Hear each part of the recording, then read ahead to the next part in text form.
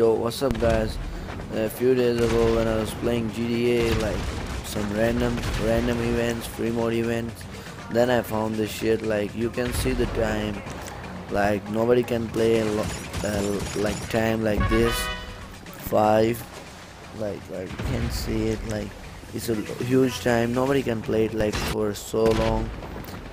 As I show you like three four clips on over here and there's also a guy who is like using RPG I, nobody gonna came to know from where he's shooting the RPG in this clip you can see that I don't know you can see on the map there are three or four guys. No nobody can shoot RPGs like this.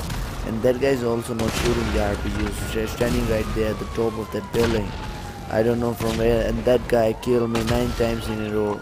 And here's the 10th time. or 11th time guys this is really I don't know what how it is gonna happen. I think the modded lobbies as the modders do on the PS3 are back to PS4 or maybe an error to Rockstar servers.